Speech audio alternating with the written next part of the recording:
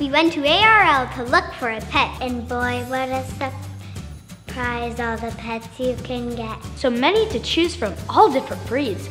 But how do you pick the right one for your needs? A dog or a cat, a rabbit or a horse, and how can you forget the chickens, of course?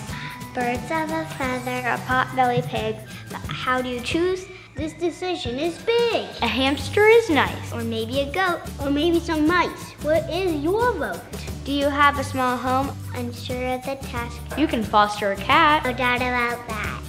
Some pets are small. Some have big paws, no matter the size. Soft for a good cause. So come see us here. Take a chance, if you will. You'll be happy you did. And oh, what a thrill. You have to choose one. Which one will it be? So please, if you will, take a chance on me. Take a chance on me. Take a chance on me. Take a chance on me. Take a ta- take a chance on me.